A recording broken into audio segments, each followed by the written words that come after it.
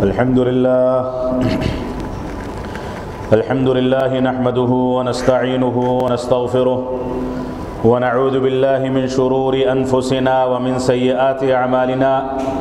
من يهده الله فلا مضل له ومن يضلل فلا هادي له. وأشهد أن لا إله إلا الله وحده لا شريك له. وأشهد أن محمدا عبده ورسوله. أما بعد فإن خير الحديث كتاب الله. وخير الهدي هدي محمد صلى الله عليه وسلم وشر الأمور محدثاتها وكل محدثة بدعة وكل بدعة ضلالة وكل ضلالة في النار. فأعوذ بالله السميع العليم من الشيطان الرجيم. بسم الله الرحمن الرحيم. وما أصابكم من مصيبة فبما كسبت أيديكم ويعفو عن كثير. محترم سامعین کرام، بزرگان دین، نوجوانان ملت اسلامیہ اور خواتین اسلام، رمضان کا مہینہ گزرے ہوئے دو ہفتہ گزر چکا۔ شوال کے وہ ایام جن ایام میں رسول اکرم صلی اللہ علیہ وسلم نے چھ روزوں کا اہتمام کرنے کو مسنون قرار دیا ہے اس کے دو ہفتے بھی گزر چکے۔ اللہ رب العالمین نے ہم کو مواقع دینے اور فرصتیں فراہم کرنے میں اور اسی طرح سے نیکی اور ثواب کے کاموں میں بڑھ چڑھ کر کے حصہ لینے میں کوئی کمی نہیں چھوڑی ہے۔ رب کائنات نے ہم کو ایسے مواقع فراہم کیے کہ ان مواقع سے فائدہ اٹھا کر کے ہم رب کائنات کے قریبی اور اس کی رضامندی کو تلاش کر سکتے ہیں۔ اللہ رب العالمین کو راضی کر سکتے ہیں۔ رب کائنات نے ہم کو ایسے موقع بھرپور انداز سے عطا کیے ہیں، جن مواقع سے فائدہ اٹھا کر کے ہم اللہ رب العالمین سے قربت اختیار کرنے کے ساتھ ساتھ یہ بھی ثابت کر سکتے ہیں اور اس بات کی بھی کوشش کر سکتے ہیں کہ ہم سچے مسلمان ہیں اور ہم قرآن و سنت کے حامل ہیں۔ اللہ رب العالمین نے ہم کو بے شمار مواقع فراہم کیے، لیکن بدقسمتی یہ ہے کہ مسلمان ان آسانیوں کے باوجود رب کائنات کی رضامندی کو تلاش کرنے میں کوتاہ نظر آتا ہے۔ اللہ رب العالمین سے قربت اختیار کرنے میں کوتاہ نظر آتا ہے۔ رسول اکرم صلی اللہ علیہ وسلم کو ان ادیان کے مد مقابل جو ادیان آسمانی ادیان تھے وہ انبیاء کرام جن کو اللہ رب العالمین نے اپنا نبی بنایا، جن کے اوپر اپنی کتابیں نازل فرمائیں، لیکن ان ادیان میں، ان مذاہب میں رسول اکرم صلی اللہ علیہ وسلم کے مذہب، آپ کے مسلک آپ کے طریقے اور آپ کے اسوے کے مد مقابل بہت زیادہ سختیاں پائی جاتی تھیں۔ ان میں یہاں تک سختیاں تھیں کہ اگر کپڑے پر ناپاکی لگ جائے تو کپڑے کو کاٹ کر کے پھینکنا ہے۔ اس کو پانی سے پانی سے طہارت حاصل کرنے کا طریقہ موجود نہیں تھا۔ بے شمار مشکلات تھیں۔ لیکن رب کائنات نے رسول اکرم صلی اللہ علیہ وسلم کو پوری کی پوری امت اسلامیہ کے لیے، پوری کی پوری انسانیت کے لیے اور صرف انسانوں کے لیے نہیں، جناتوں کے لیے، اور صرف جناتوں کے لیے ہی نہیں، بلکہ جانوروں کے لیے، جمادات کے لیے، درندوں کے لیے، چرند پرند کے لیے، تمام کی تمام مخلوقات کے لیے رب کائنات نے رسول اکرم صلی اللہ علیہ وسلم کو رحمت بنا کر کے بھیجا۔ آج کے دور میں اگر مسلمان صحیح انداز سے قرآن و سنت کو سمجھ لے، اس کے مطابق چلنے کو چلنے کی کوشش کرے، اپنے آپ کو اس کے مطابق آمادہ کر لے، اپنی نئی نسل کی تربیت انہی اصولوں کے مطابق کرے، جن اصولوں کے مطابق رسول اکرم صلی اللہ علیہ وسلم نے اپنے بچوں کی، اپنے اہل و عیال کی، اپنے صحابہ کرام کی، اپنے ساتھیوں کی، اپنے متعلقین کی، اپنے قرابت داروں اور رشتہ داروں کی تربیت کی تھی۔ تو آج بھی وہ دین وہ دن دور نہیں ہے کہ مسلمان تمام کی تمام مشکلات کے باوجود اللہ رب العالمین کی رحمت کے تلے اس طرح سے ڈھانپ لیا جائے، جس طرح سے رسول اکرم صلی اللہ علیہ وسلم اور صحابہ کرام کو ڈھانپا جاتا تھا۔ وہاں مسلمان صرف تین سو تیرہ ہوتے تھے۔ ان کے مد مقابل لشکر جرار ہوتا تھا، کفار کے پاس ہتھیار ہوتے تھے، کھانے پینے کا سامان ہوتا تھا، ساری کی ساری چیزیں اور سارے کے سارے وسائل ہوتے تھے۔ اور مسلمان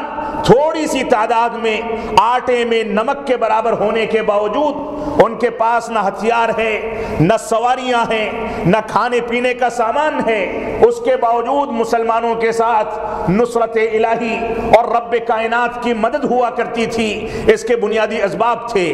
اللہ کے نبی صلی اللہ علیہ وسلم کے عہد مبارک کے ان رازوں کو، ان اسرار کو آج کے دور میں بھی دیکھا جانا چاہیے کہ کون سے اسباب کو اختیار کر کے صحابہ کرام نے ان کو پھٹا پرانا کپڑا نصیب ہوا۔ صحیح سالم کپڑا نہیں پہن سکے۔ صحیح انداز کا جوتا بہترین انداز کا پانی اور کھانا اور چلنے پھرنے کے لیے، گاڑی گھوڑے، رہنے سہنے کے لیے اونچے مکانات، یہ کچھ بھی نصیب نہیں ہوا۔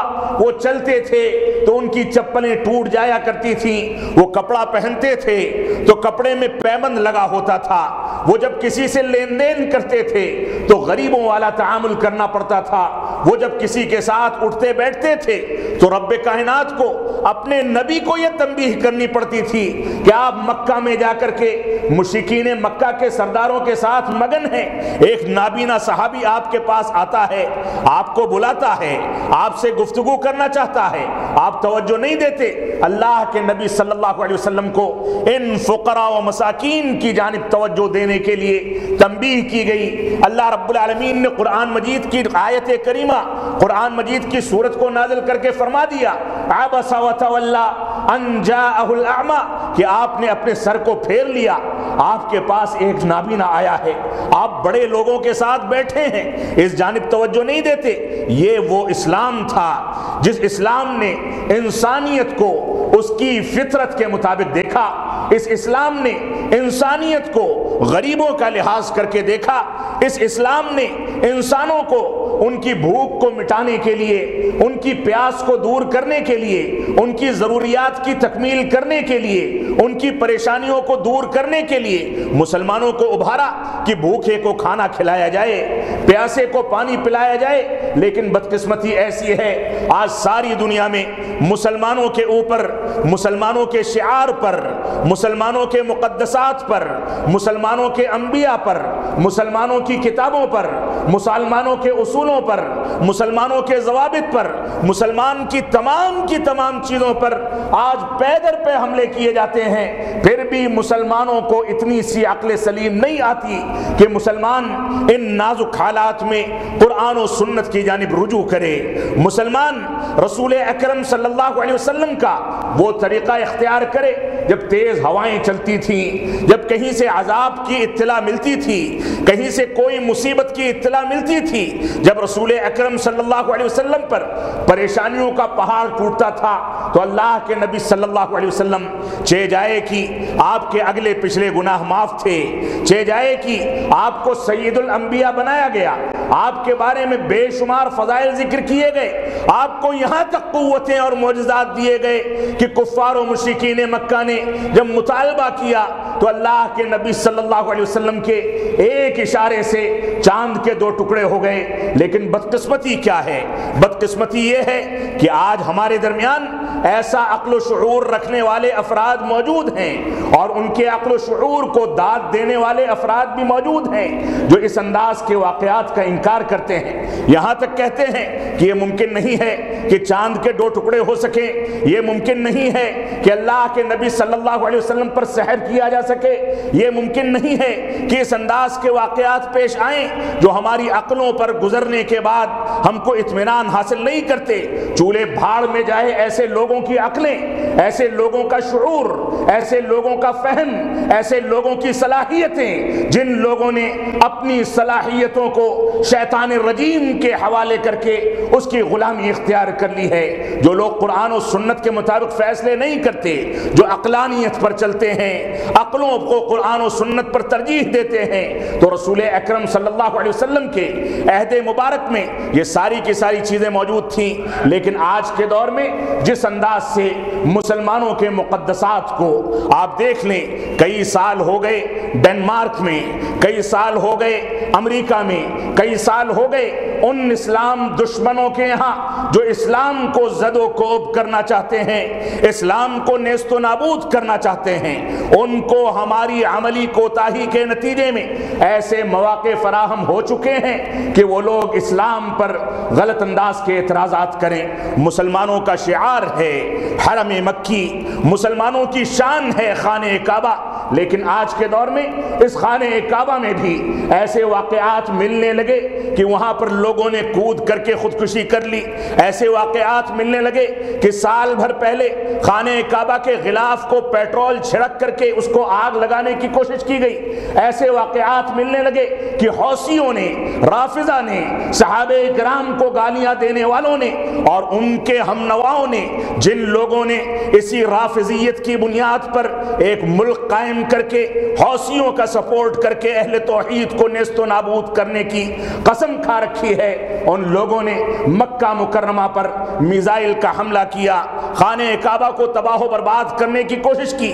بے شمار واقعات موجود ہیں۔ آج مسلمانوں کے شعار پر پیدر پہ جو حملے کیے جا رہے ہیں۔ رسول اکرم صلی اللہ علیہ وسلم کی شان میں جس انداز سے پیدر پہ گستاخیاں کی جا رہی ہیں، کہیں آپ کا کارٹون بنایا جاتا ہے، کہیں آپ کا مذاق بنانے کے لیے آپ کے چہرے مہرے کو پیش کر کے مسلمان فلمیں بناتے ہیں اور غیر مسلم بھی اس انداز کی حرکتیں کرتے ہیں اور مسلمانوں میں بھی صحابہ اکرام کی شبیہ پیش کرنا، رسول اکرم صلی اللہ علیہ وسلم کی شبیہ پیش کر کے فلموں کا اور اسلامی ہسٹری کا، اسلامی تاریخ کا تصور پیش کرنا، یہ ساری کی ساری چیزیں عام ہوتی چلی جا رہی ہیں۔ یہ ساری کی ساری توہین ہے مسلمانوں کے شعار کی مسلمانوں کی پہچان کی، مسلمانوں کی شان کی۔ اللہ کے نبی صلی اللہ علیہ وسلم پر حملے، عام سی بات ہو گئی۔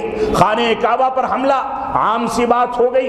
اللہ رب العالمین کے بارے میں غلط انداز کی بیان بازی کرنا، رب کائنات کی شان میں گستاخیاں کرنا ایک عام سی بات ہو گئی۔ اور یہی اتنا نہیں، آج قرآن مجید، جس کو خود مسلمانوں نے، جو مسلمانوں کی کتاب تھی، خود مسلمانوں نے، جو مسلمانوں کا دستور تھا، خود مسلمانوں نے، جو مسلمانوں کا ضابط حیات تھا، آج خود مسلمانوں نے چھوڑ دیا۔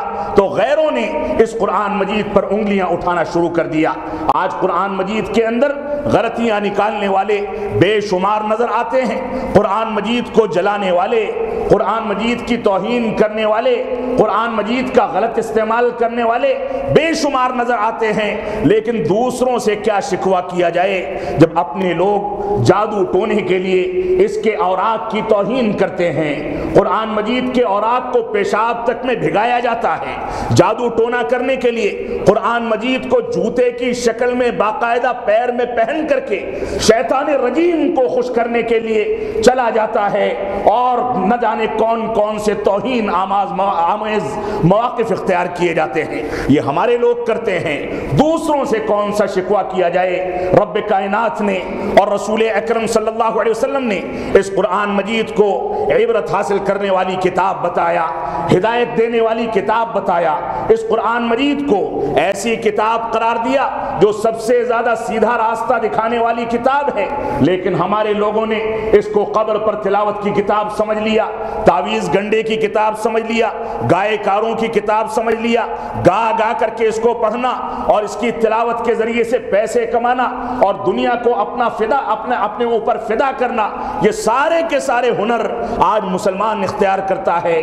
تو دوسروں سے جو شکوا ہے، وہ اپنی جگہ پر ہے، لیکن یہ شکوا اپنوں سے بھی ہونا چاہیے۔ آج کے دور میں، اس پرفتن دور میں، جس انداز سے مسلمانوں کے شعار پر مسلسل حملے کیے جاتے جاتے ہیں۔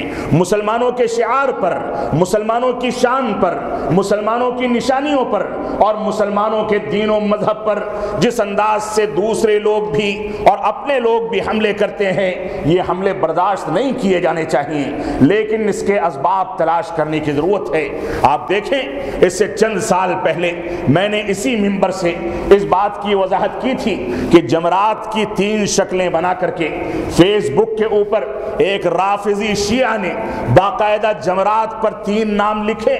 پہلے جمرے پر لکھا ابو بکر صدیق اور کہا کہ یہ بڑا جمرہ ہے اور جو ابو بکر کے طرح سے خیانت کرے گا، اس کو قیامت تک اسی طرح سے کنکر مار مار کر کے ذلیل کیا جائے گا۔ دوسرے جمرے پر عمر بن خطاب رضی اللہ تعالیٰ کا نام لکھا۔ تیسرے جمرے پر عثمان غنی کا نام لکھا۔ ایسے ملعون نفراد جو اپنے صحابہ کرام کے بعد بارے میں، اسلامی شخصیات کے بارے میں ایسا تصور رکھتے ہیں۔ کیا ان کو نہیں خبر ہے کہ ابو بکر صدیق تو رسول اکرم صلی اللہ علیہ وسلم پر سب سے زیادہ احسان کرنے والی شخصیت تھی؟ ان کی بیٹی سب سے زیادہ محبوب ترین بیٹی تھی۔ خواتین میں سب سے زیادہ جس کی عزت اور جس کی تکریم رسول اکرم صلی اللہ علیہ وسلم کرتے تھے، وہ ابو بکر صدیق کی بیٹی تھی۔ پوچھا گیا کہ مردوں میں سب سے زیادہ محبت کس سے کرتے ہیں؟ تو آپ نے یہ نہیں کہا کہ ابو بکر سے، فرمایا ابوہا اس کے باپ سے۔ عائشہ کے باپ سے میں محبت کرتا ہوں۔ وہاں بھی نسبت عائشہ سے جوڑ کر ذکر کی گئی۔ یہ صورتحال تھی۔ اور ہماری صورتحال یہ ہے کہ ان عمائدین کا باقاعدہ توہین کر کے ہم اپنے ذہنوں کو لذت محسوس کرتا ہوا پاتے ہیں۔ آپ دیکھیں کہ عمر بن خطاب کے بارے میں اللہ کے نبی صلی اللہ علیہ وسلم نے یہ کہہ دیا کہ جہاں سے شیطان گزرتا ہے جہاں سے عمر گزرتے ہیں، شیطان نہیں گزر سکتا۔ اور ہمارا اعتقاد ہے کہ اس انداز کی تنقید کرنے والے عمر کو اسی وجہ سے برداشت نہیں کرتے کیونکہ یہ شیطان ہیں۔ اور شیطان کو عمر عمر کو شیطان برداشت نہیں کر سکتا ہے۔ آپ دیکھیں، تیسری مثال عثمان غنی کی دی گئی۔ عثمان غنی، جس کے بارے میں اللہ کے نبی صلی اللہ علیہ وسلم نے اپنی مجلس میں حضرت ابو بکر صدیق رضی اللہ عنہ کی حاضری، عمر بن خطاب عمر بن خطاب رضی اللہ عنہ کی حاضری، علی بن نبی طالب رضی اللہ عنہ کی حاضری، جلیل القدر صحابہ کرام کی حاضری کے باوجود اپنی کیفیت کو تبدیل نہیں کیا۔ آپ کا تہبند مبارک آپ کے گھٹنے سے اوپر تک چڑھا ہوا تھا۔ آپ تشریف فرما تھے، بیٹھے ہوئے تھے۔ عثمان غنی داخل ہوتے ہیں۔ اللہ کے نبی صلی اللہ علیہ وسلم چوکنا ہو جاتے ہیں۔ اپنے تہبند کو نیچے کر لیتے ہیں۔ صحابہ کرام نے پوچھا کہ اللہ کے نبی صلی اللہ علیہ وسلم فنا آیا آپ نے ایسا نہیں کیا فنا داخل ہوا آپ نے ایسا نہیں کیا، فنا کا داخلہ ہوا، آپ نے ایسا نہیں کیا۔ کون سے اسباب ہیں کہ آپ نے عثمان غنی کے دخول کے وقت ایسا کیا؟ تو فرمایا، میں اس سے کیوں نہ حیا کروں، جس سے فرشتے بھی حیا کرتے ہیں۔ میں اس سے کیوں نہ شرماؤں، جس سے فرشتے بھی شرماتے ہیں۔ یہ مقام تھا ان بزرگوں کا، یہ مقام تھا ان صحابہ کرام اور ان شخصیات کا، جس مقام کو حقیقت یہ ہے کہ ان لوگوں کے ساتھ چولی دامن کا ساتھ نبھانے کے لیے، ان لوگوں کے ساتھ بھائی چارے کی بات کرنے کے لیے اتحاد و اتفاق اور صلح کلی والی پالیسی اختیار کر کے ان لوگوں کے ساتھ اٹھنے بیٹھنے کے لیے آج ہم نے اپنے ایمان کو بیچ دیا۔ کیا یہ چیز ہمارے لیے ضروری نہیں ہے کہ ہم اپنے شعار کے تحفظ کے لیے ان لوگوں سے براعت کا اظہار کریں؟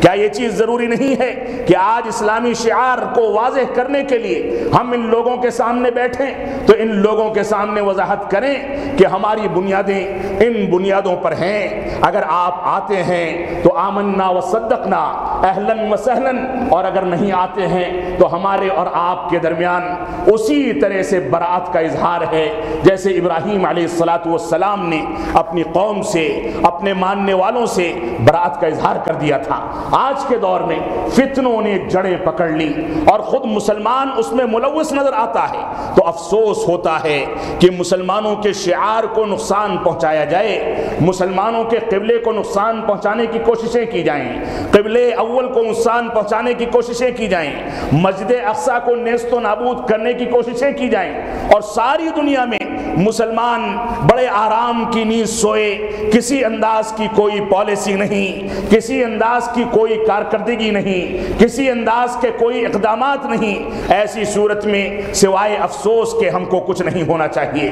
جو آیت کریمہ میں نے آپ کے سامنے تلاوت کی ہے، اس میں اللہ رب العالمین نے ارشاد فرمایا، وما اصابکم من مصیبت فبما کسبت ایدیکم ویعفو عن کثیر کہ تم کو جو کچھ مشکلات لاحق ہوتی ہیں یہ تمہارے اپنے کرتوتوں کا نتیجہ ہے۔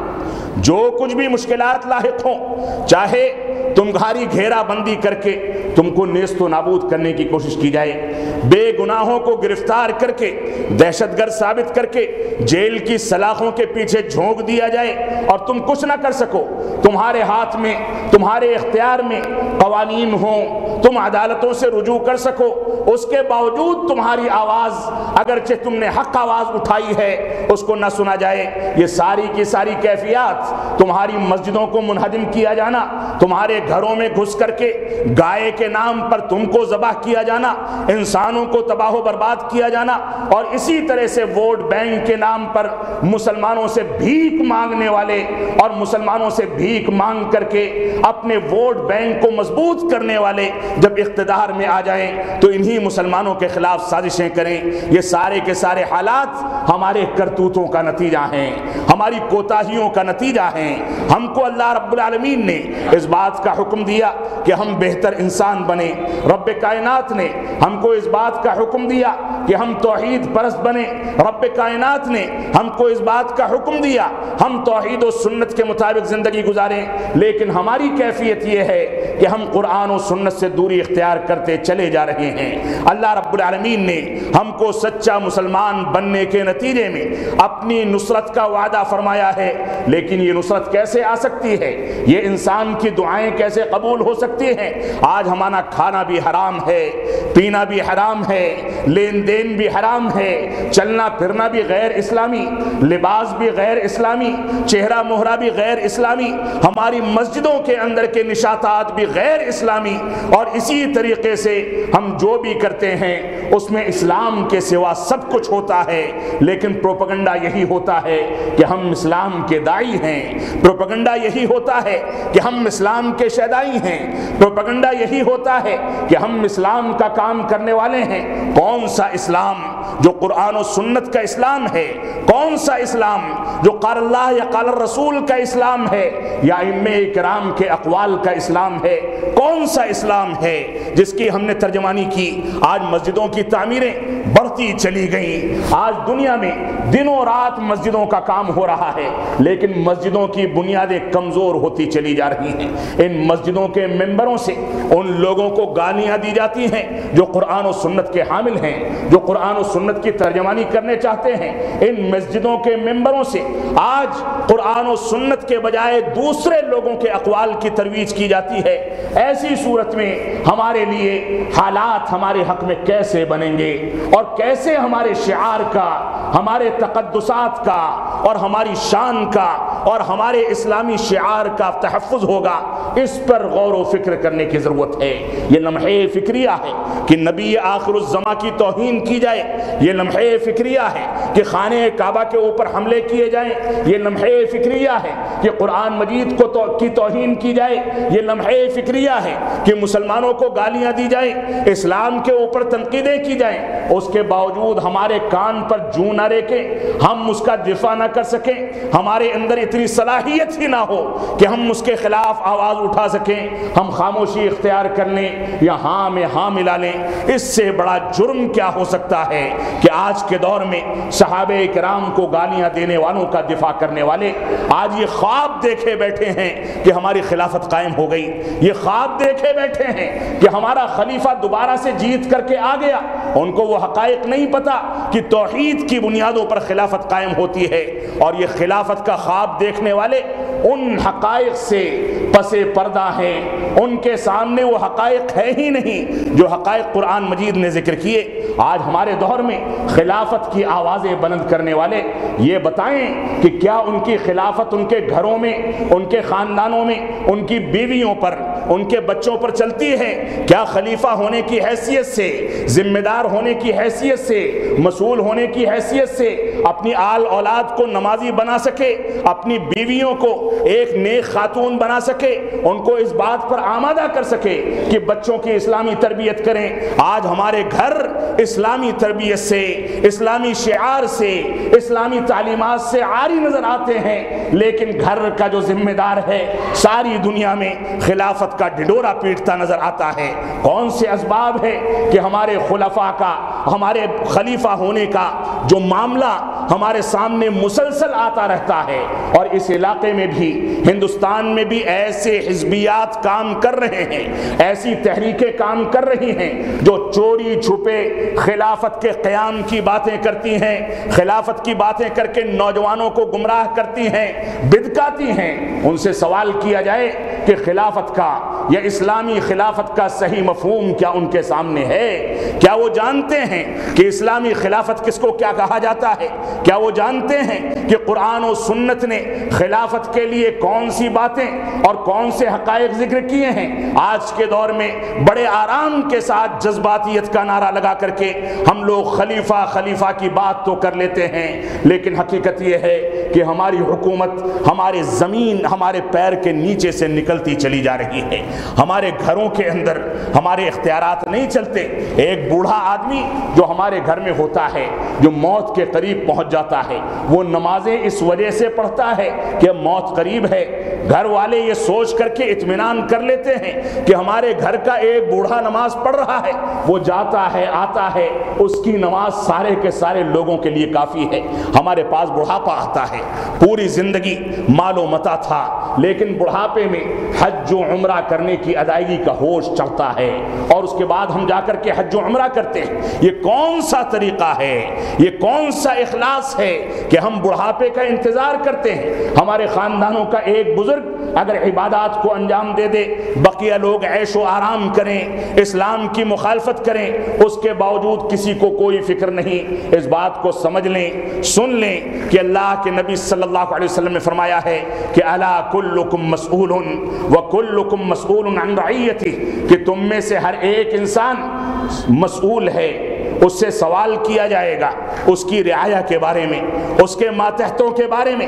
کسی گھر کا اور خاندان کا ذمہ دار ہے تو بچے نماز کیوں نہیں پڑھتے تھے؟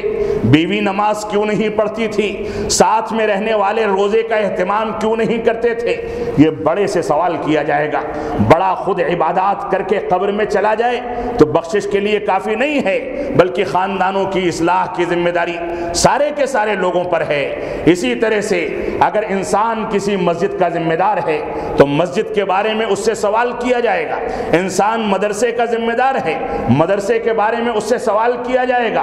انسان آفس اور فیکٹری کا ذمہ دار ہے، آفس اور فیکٹری کے بارے میں اس سے سوال کیا جائے گا۔ اس وجہ سے ہماری ذمہ داری ہے کہ ہم قرآن مجید اور سنت رسول کے مطابق صحیح انداز سے اپنی زندگی کو ڈھالیں اور صحیح انداز سے قرآن و سنت کے مطابق زندگی گزاریں۔ ہماری ذمہ داری ہے کہ ہم ان مصیبتوں کو اور اس طرح سے اسلام اور اسلامی بنیاد اور اسلامی شاعر اور اسلامی شان اور اسلامی تقدسات پر جو مسلسل حملے کیے جا رہے ہیں اور مسلمانوں کو رویت کے مسائل میں، طلاق ثلاثہ کے مسائل میں جان بوجھ کر کے الجھایا جاتا ہے اور اس کے بعد ان کے نفس کے ساتھ ان کو مشغول کر دیا جاتا ہے۔ بنیادی مسائل کی جانب مسلمانوں کی توجہ نہیں جاتی۔ یہ ساری کی ساری سازشیں ہیں۔ ہماری ذمہ داری ہے کہ ہم ہم ان سازشوں کو سمجھیں، ان کے، ان سے باہر نکل کر کے قرآن و سنت کے مطابق اپنی زندگی کو ڈھالیں۔ ہماری ذمہ داری ہے کہ ہم قرآن مجید کو سمجھیں، قرآن مجید کے مطابق زندگی گزاریں۔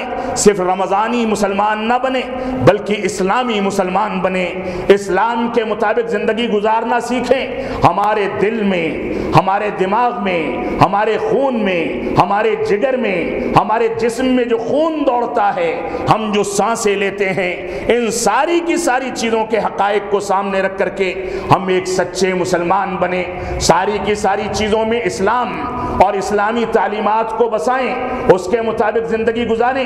تب جا کر کے ایک ایسا صالح معاشرہ نکل کر کے سامنے آئے گا، جس کے بارے میں یہ کہا جا سکتا ہے کہ ان کو اسی انداز سے نصرت نازل ہوگی، جس انداز سے صحابہ کرام کو اور رسول اکرم صلی اللہ علیہ وسلم کو اللہ رب العالمین نے اپنا ہم نوا بنایا اور اپنے مدد کے مطابق ان لوگوں کو زندگی گزارنے کا ہنر اور ڈھنگ سکھایا۔ اللہ رب العالمین ہم کو ان باتوں کی توفیق عطا فرمائے۔ موضوع جو تھا، اس موضوع پر میں نہیں آ سکا، لیکن آئندہ خطبہ جمعہ میں اس بات کی کوشش کی جائے گی کہ ہم، میں آپ کے سامنے اس بات کی وضاحت کروں کہ مسلمانوں میں کون سے ایسے مسلمان ہیں جن کو اللہ رب العالمین پسند فرماتا ہے؟ مسلمانوں میں کون سے ایسے لوگ ہیں جن کو رسول اکرم صلی اللہ علیہ وسلم نے خیر الناس قرار دیا کہ لوگوں میں سب سے بہتر لوگ ہیں، بہتر انداز اختیار کرنے والے افراد ہیں؟ اللہ رب العالمین ہم کو اسلام کو اختیار کر کے، اسلامی تعلیمات کو اختیار کر کے مسلمانوں میں اور انسانیت میں سب سے بہتر مسلمان اور سب سے بہتر انسان بننے کی توفیق عطا فرمائے۔ ہم چلیں، پھریں، تو بھی لوگ ہماری مثالیں قائم کریں۔ دھوکہ دھڑی، جھوٹ فریب اور اسی طرح سے لوگوں کے ساتھ غلط انداز کی لین دین، یہ ساری کی ساری چیزیں ہمارے ذہن و دماغ میں بھی نہ آنے پائیں۔ آج کے دور میں آپ مارکیٹ میں نکل جائیں، بازار میں چلے جائیں، جتنا اعتماد آپ ایک ہندو تاجر پر کر سکتے ہیں، ایک ہندو غیر مسلم بنیا پر کر سکتے ہیں، اتنا اعتماد آپ مسلمان پر نہیں کر سکتے۔ کون سے اسباب ہیں؟ اس پر غور و فکر کرنے کی ضرورت ہے۔ اللہ رب العالمین ہم کو ان باتوں کی توفیق عطا فرمائے۔ ہم جب تک جئیں، تب تک اسلام پر جئیں، جب ہمارا خاتمہ ہو تو ایمان پر ہو۔ بارک اللہ لنا ولکم فی القرآن المجید ونفعنی وإياكم بالآیات والذکر الحمید۔ انہو تعالی جواد کریم ملک بر الرؤوف الرحیم۔